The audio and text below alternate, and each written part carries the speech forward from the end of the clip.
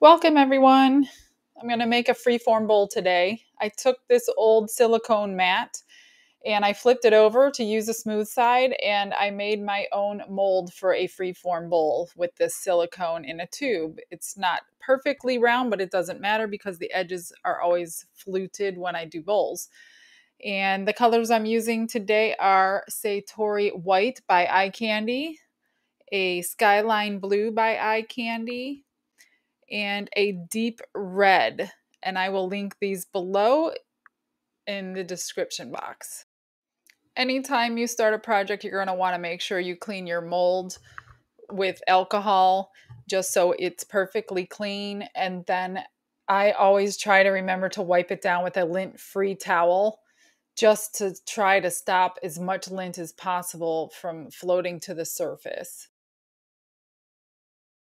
I wanted my resin to sit for a little bit to thicken up so they don't mix together too much. So I'm waiting for about 100 degrees before I start pouring these. So I just have this little heat gun to let me know what the temperature is.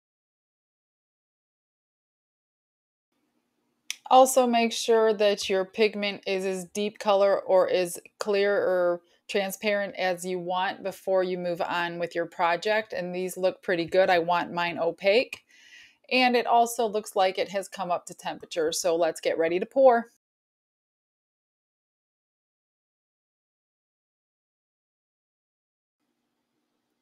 Right now, I'm just going to pour my red and blue. I don't want to put the white in right away because I don't want the white to completely disappear. I don't want the white turning pink or light blue and I promised the woman who ordered this bowl that it would look white. So I'm going to wait till the end to pour the white. So I'm just going to randomly pour the blue and the red on in any which way. There's really no rhyme or reason in how I'm pouring it just to get it all on the surface. And then in a little while, I will take a stick and swirl it together. This mold is approximately 17 inches in diameter. I mixed up 16 ounces of resin because that's generally what I always use in this bowl. However, you'll see that it was short just a little bit. And the reason why is because I typically put an edge around in shell or in stone or some kind of surface um, around the edging. But this woman did not want anything around her edge. She just wanted complete resin. So I forgot to pour the extra resin in here. So push everything to the edges, make sure it's all around before you mix up any more. And then, like I said, go back, mix a little bit more color, and then I'm going to add it to here. That way it fills in the empty spots. I'm just going to take the heat gun and soften up these lines a little bit. I definitely don't want them looking like this. And then I'm going to use a little silicone stick that I love. I use it for everything. And I'm just going to swirl these colors together a little bit more.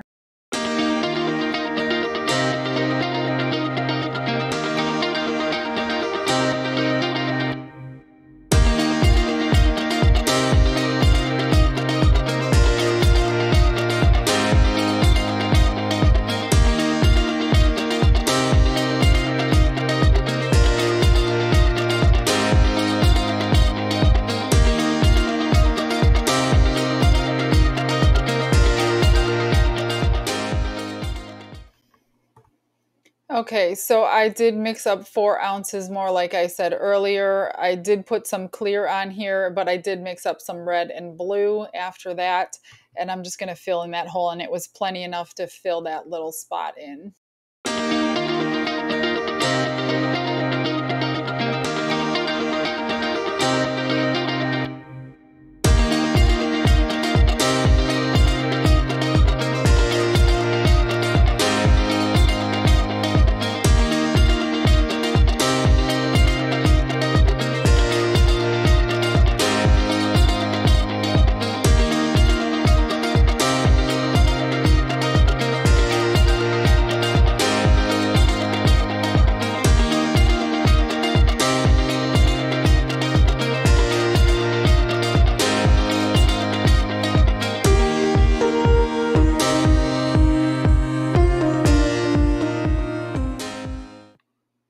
Here's a little bonus for you. This is how I clean my resin jars immediately after I'm done pouring them. Well, within a couple minutes anyway. So I'm going to take a paper towel and I'm going to wipe out as much as I can possibly wipe out.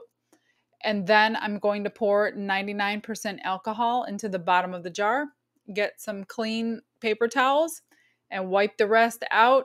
And voila, it's finished. You don't have to think about it. You don't have to wait till tomorrow when it's cured and pick out all the little pieces.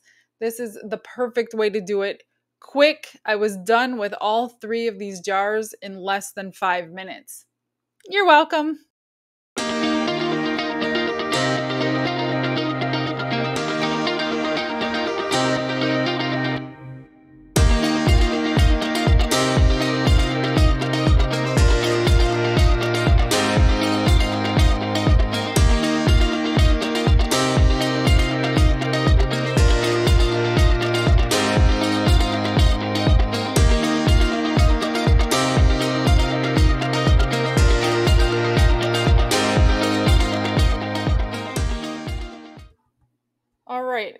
Finally time for the white. The white's been sitting for quite a while, but it's perfect. It doesn't matter. There's such a small amount. It's ne- never going to like flash cure or anything. So I'm just going to take this popsicle stick and drizzle really, really thin lines. She didn't want much white, just enough to see that there is a little bit of white. So I'm just going to drizzle all over randomly. And then I'm just going to take my heat gun. I'm going to push those lines a little bit each way so they kind of blend in, not really blend in with the color, but they'll move so they're not such hard lines. So just take your heat gun and just move them wherever you'd like them. Add a little bit more white if you want to. And then we are going to just babysit this for the next six to eight hours until we can unmold it and get it over a bowl for our final dry.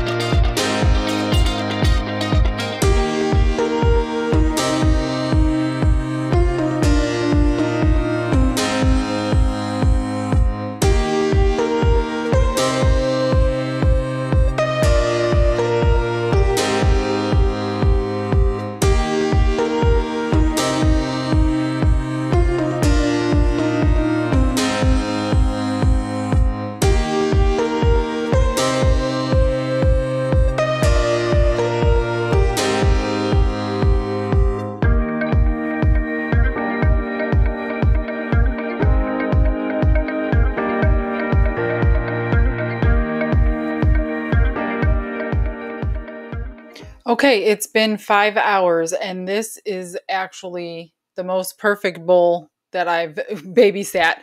I came at the exact time that I needed to. There are no fingerprints being left on it at all. It is very pliable. It is not like pulling anywhere, so it's coming out of the mold really nice. So now I'm just going to drape it over this metal bowl to get the shape that I want. Now, as you'll see in the next clip, I did put the bowl upside down, so I did have to flip it over. I do not want this side to be on the bottom where you're really not going to see it. I want this to be the inside of the bowl. So just disregard what you're watching because it will get flipped over. So just uh, position your bowl exactly the way you want it and use little props if you need to to hold things in place if you want it fluted like I'm going to do. I'm just going to use some of these glitter jars just to hold it in place overnight until it, it uh, fully cures.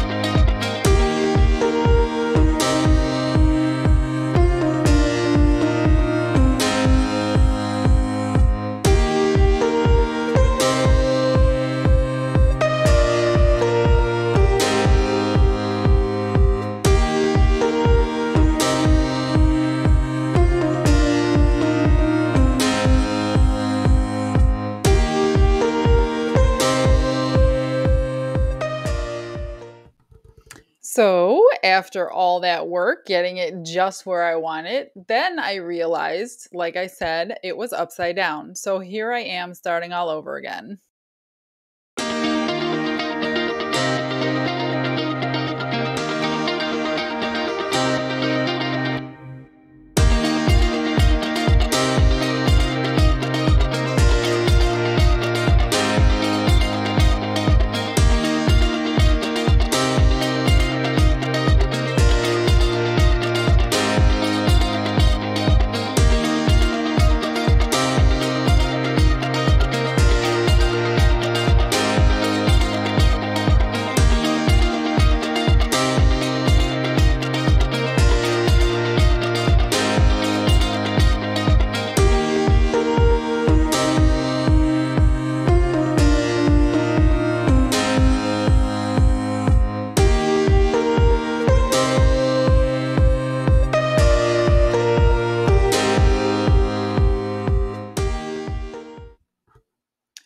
It's ready to come off. It's about 90% cured. It's still just a tiny, tiny bit bendy, but I can move on with the next step exactly how it is.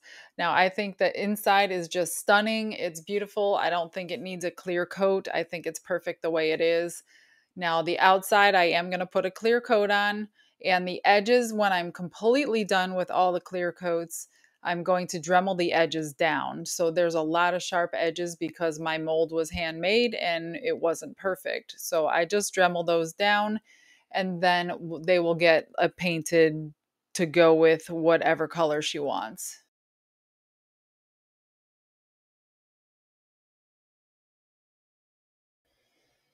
Now, I should just mention the reason this side is dull is because it's not a professional mold and because my silicone mat that I used as the mold was dull. That's why this side is dull.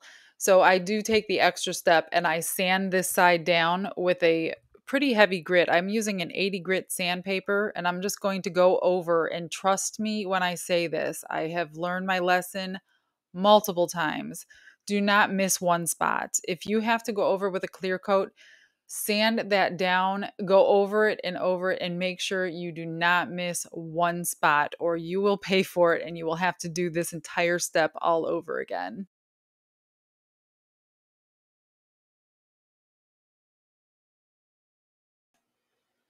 Now, the reason I'm sanding it is because if you do not sand it, you're going to end up with fish eyes and they will be everywhere. And it's a nightmare to get rid of them.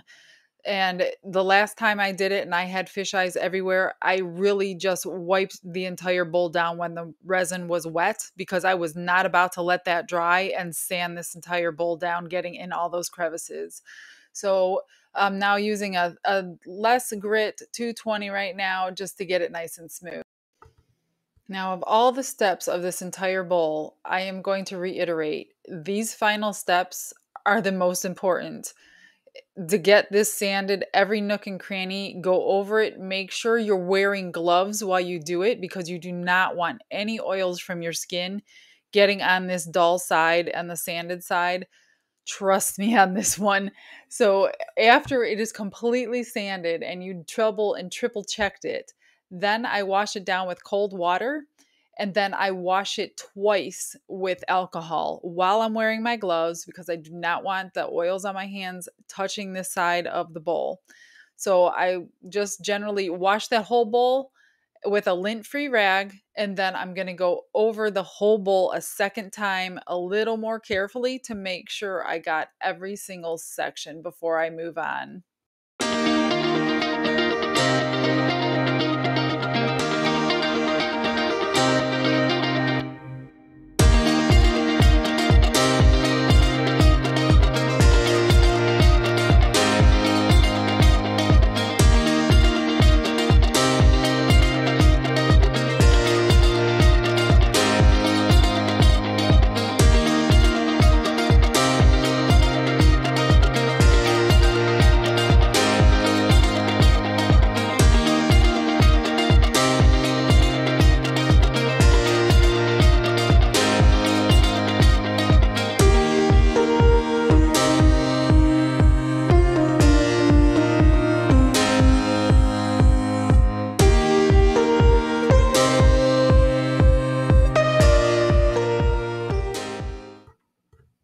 Okay, I just mixed up 40 milliliters of resin for this outside. It should be plenty enough. In fact, it was the perfect amount. This bowl is about 17 inches in diameter, and you don't want too little for sure.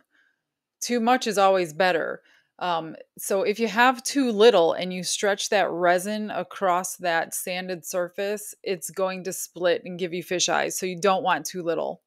If you think you have too little, go mix up more and add it because it's going to take quite a while to dry that thin. If you put too much on, it's just going to run off the edges and go everywhere and make a mess everywhere, and it may pull too much off anyway. So you want the perfect amount. You want a nice, decent coat. Now, some of it is dripping off the sides, which is fine. That's going to happen. It's pointing down. That's what happens. So you're just going to cover it with your hand all over. Go over it, make sure nothing is missing, make sure no fish eyes are happening, and then let it sit for about an hour. And what I did, which I didn't show on camera, is after about an hour, there were little puddles around the bowl from where it was dripping onto the silicone pad. If there was any tiny little spot that I wanted touched up or I wanted resin put back on, I took my little silicone pen and I lifted up with the pen off the silicone pad and I just dripped it right back onto the surface of the bowl and it just kind of melded right in with the rest of the resin. And that's really all I had to do. This one came out really, really good. I'm so happy that I did all those steps this time and I didn't have any trouble with fish eyes. And then I'm just going to let it cure overnight.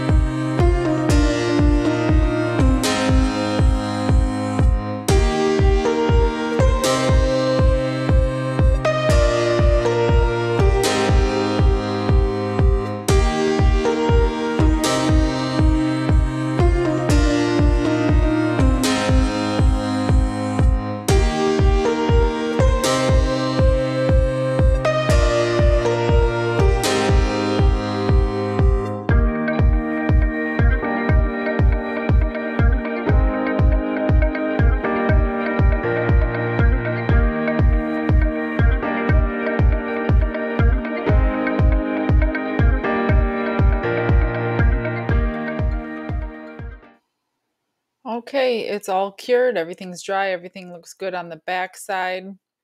So now we're going to move to the edges.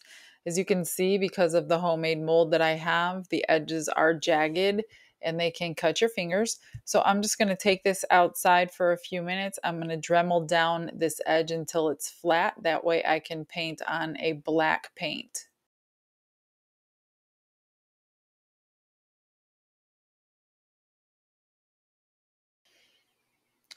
Okay, that only took about five minutes if you have a good Dremel and a nice sanding piece of paper on the end of that Dremel.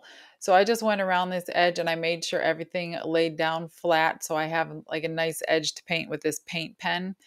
So I'm going to do it uh, black just because I know the client doesn't want anything blingy in silver or gold, so I'm just going to do it in black because it does need to have something done to that edge. And then I will also, I did Dremel just barely the inside and barely the outside just to make sure it was more of a rounded edge and not a straight edge. So I'm just going to put that pen all around the edge that's the thick edge, I mean, and then I'm going to barely bring it on the inside and barely bring it on the outside, just so it covers that whole curvature of that edge now.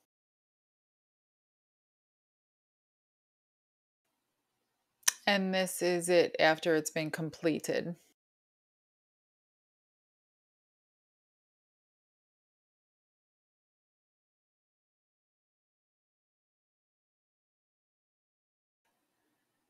After looking at this bowl on the inside, there was one ring around the center where you see me sanding. So I'm going to start this whole center just because I'm not happy with where it was sitting on the bowl as the mold. It made a ring around that bottom center and it's dull. So there's a, like a dull ring around. And if it was me buying it, I would not be happy with that. So that just means now I have to sand this entire inner portion of the bowl down, every single portion, just like we did the backside. So nothing gets fish eyes when I coat it. So I'm going to sand this entire thing down, get it washed, and do it all over again.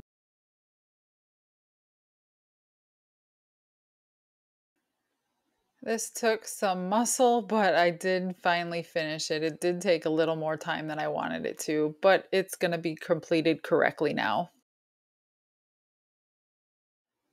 Okay, I re-washed it again with soap and water to get all of that dust off. I'm going to spray it all down again with alcohol. This is 99% alcohol. Wearing gloves, again, do not use your bare fingers on this. You do not want to cause any reason for fish eyes to happen. And then I did, and I didn't show it on camera, I did just go along that edge with the paint pen again because when I sanded, it barely took some off, not too much, but I just wanted to get it freshened up so I can run my finger around that edge with resin on it. That way that paint will never come off.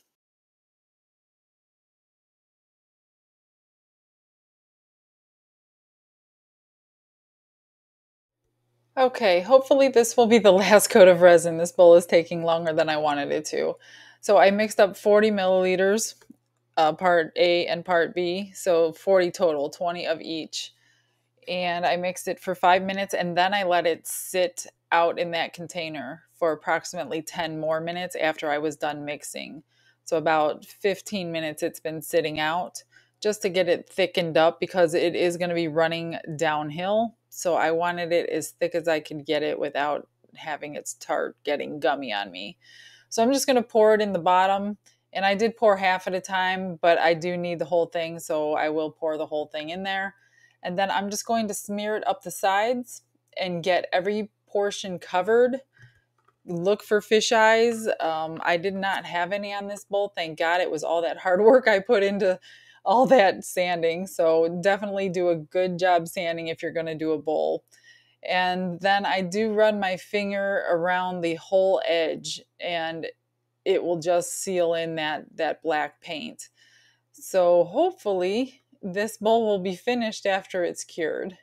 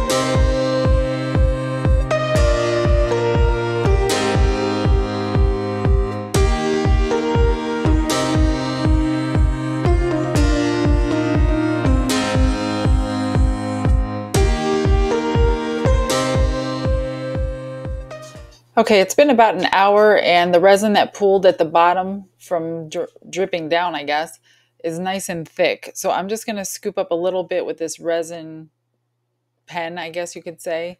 And I'm just going to place a little scoop of it over just a couple areas that I want to touch up. And just letting it sit there is going to flow back together. And then I'm just going to take my torch and heat the bottom just so it will flow back together as well.